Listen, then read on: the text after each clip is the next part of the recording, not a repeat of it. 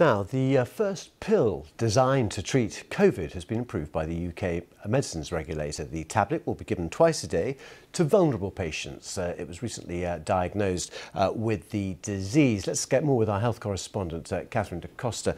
Uh, health Secretary has described this as a game changer, and all the indications are that it, it will be.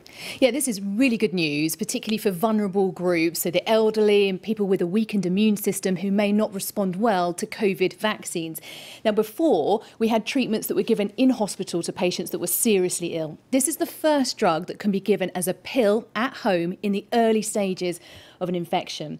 Clinical trials found that the tablet molnupiravir uh, half the risk of hospitalisation and death in at-risk patients.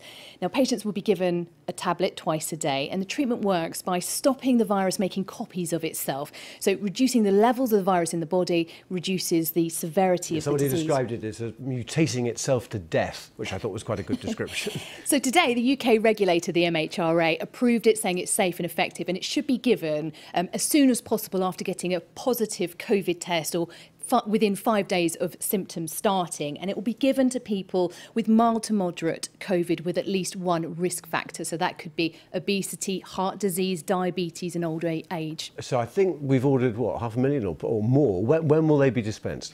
Yeah, so the US drug company behind this thinks that it can produce about 10 million courses of this drug by the end of the year. As you say, the UK government has pre-ordered nearly half a million courses.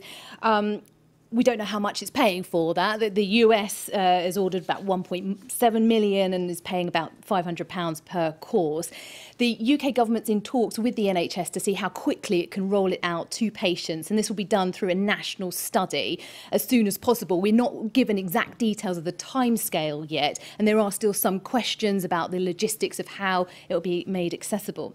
It is po worth pointing out that this isn't an alternative to vaccination. People are still urged to get their vaccines, their boosters, their flu jabs, but this is hugely important because no vaccine is 100% effective. Some people can't have vaccines or don't respond well to them. So this is another weapon in the fight against COVID and it's helping reduce, you know, those most at risk from, you know, serious illness, reducing hospital uh, hospital admissions and therefore ultimately pressure on the NHS. Okay, Katharine, thanks very much indeed.